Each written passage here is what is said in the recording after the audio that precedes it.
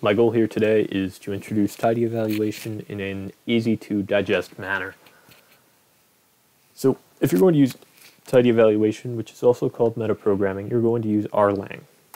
Rlang is the best package for tidy evaluation in R. You can use base. No one uses base. Come on, don't do it. Uh, ggplot2 is just an example. I'll, I'll start off with an example just to give you some of the motivations behind this. So let's say we wanted to make a graph using the iris data set. We have iris. Let's just make a scatter plot. Geom point mapping equals aesthetics x equals sepal dot length y equals sepal dot width. Be useful if I spelled that right. Okay, then we have the title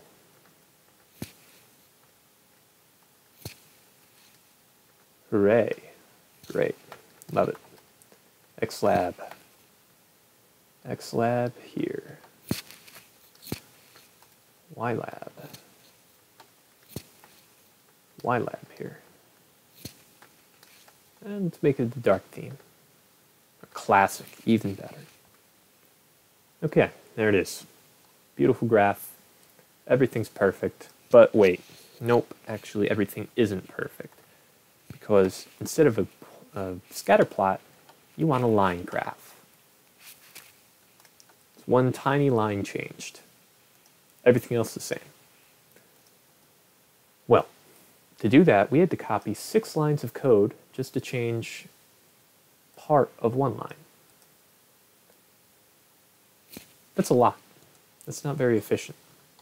It can be very hard to debug if you don't know what you're looking for or your eyes get tired, you have eye fatigue.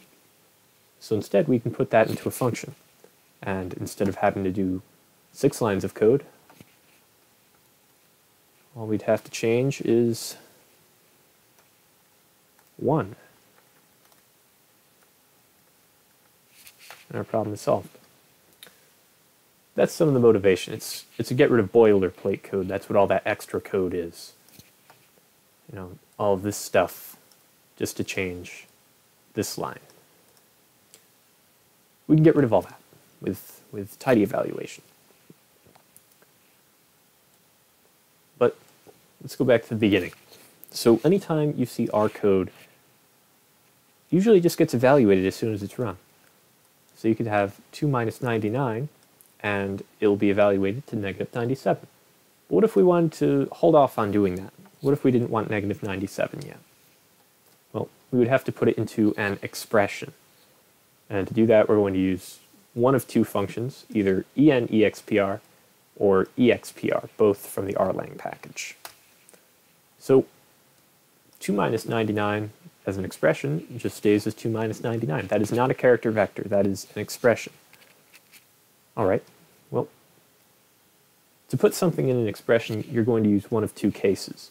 If the expression that you want to make is stored in a parameter, a function parameter, you're going to use rlang exp, enexpr, and for everything else, you're going to use expr. Don't worry about the details. That's as much as you need to know. If you want to know more, you can just re read uh, Hadley's book on it, Advanced R. I think he has an entire chapter dedicated to these really small differences. Man, it's really smart. Now, once we have our expression, we can evaluate right? To do that, we're going to use rlang eval tidy, and that's going to get us our negative 97. But it takes three arguments, so it has the expression. So let's say 2 minus 99. It has a data equals argument, so you can supply a data frame, a list, a named matrix, some other data uh, named data structure, and an environment. Where are you going to find that data set? You know, if you have a if you have an X, where are you going to find the X? Is it in the calling environment? Is it in the global environment? You, you don't know. That's why you have to supply in environment. So let's say we have this data. We have X, Y, and Z and the data frame. And let's say we want to multiply X by Y. We don't know which X and which Y. But if we don't supply any data arguments, it's not going to be able to find this X or this Y. How, you know, how could it? So this is going to look in the global environment for an X and a Y. And so it finds these two. And that'll give you the first five perfect squares. Perfect. Because, you know, 1 times 1, 2 times 2, so on. Now, what if we only supplied a data frame? Or the data, you know, data equals argument. If you don't specify anything, it's going to assume everything you're looking for is in the data frame, or the list, or the named matrix. So it's going to multiply this x and this y, so long as they exist. So you'll have the negation of the first five perfect squares. Okay. Now you can also mix them. So if you want to multiply this x and that y, or that x and that x for that matter, you can do that. You just have to provide the dat data dot data list argument and env list. You're just specifying where to pull the information from. And you can do that. So I multiplied this y and this z. So that's the negation of the first five perfect squares divided by 10. And all, all I'm trying to get at here is that you can mix the two. Which brings us to our quote and unquote pattern. So if you have something stored in a parameter or you know a variable or something, you're going to want to use that value. So if you're going to write uh, sepal length here, well, you could write sepal length, but you can't do that for that.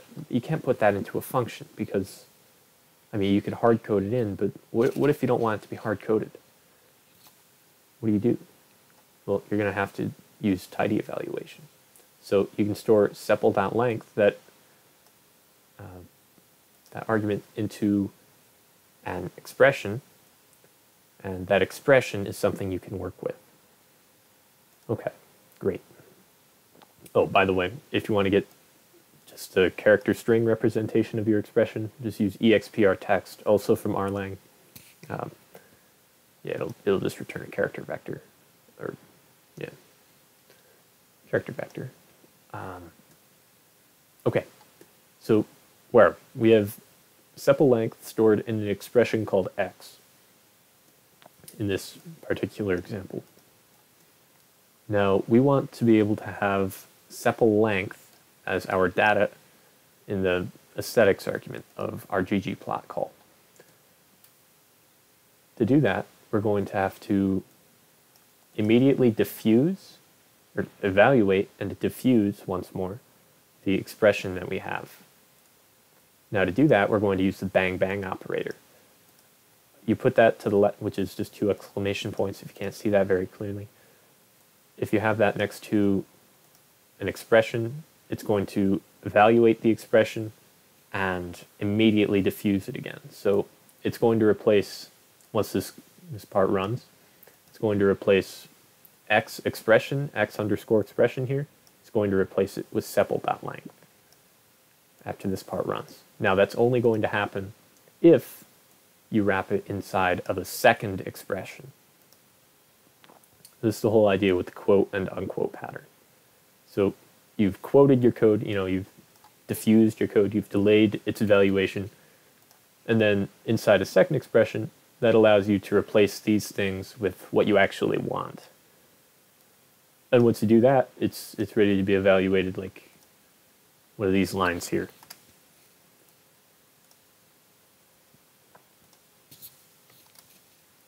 Okay, that's that's really all that's going on. Now that's the quote unquote pattern. So you have some variable that you want to pass to a function, and you need to use say a column name. You're going to use a quote and unquote pattern to be able to insert your value there. Uh, so all you do, you wrap your variable, your parameter, into an expression. You use the quote and unquote pattern, so you wrap the the bang bang operator unpacking x expression and you wrap that in a second expression and then you can evaluate it just as you would any any other ggplot. That works for any case. There are shortcuts for tidyverse stuff, but I just wanted to stick to the one that works in every case. Uh, anyway, if you want to learn more, check out Hadley's book. He's he's pretty good with that. Or if you want me to dive into some particular topic, just ask me in the comments or something, and I would be happy to make a quick little video when I have some time. Anyway, that is a brief overview of tidy evaluation. I hope it helps you because usually people are more focused on solving immediate problems than uh, understanding software. But if you enjoyed this, you know, let me know. And if not, also let me know. I hope this was helpful, and I wish you the best. Good luck.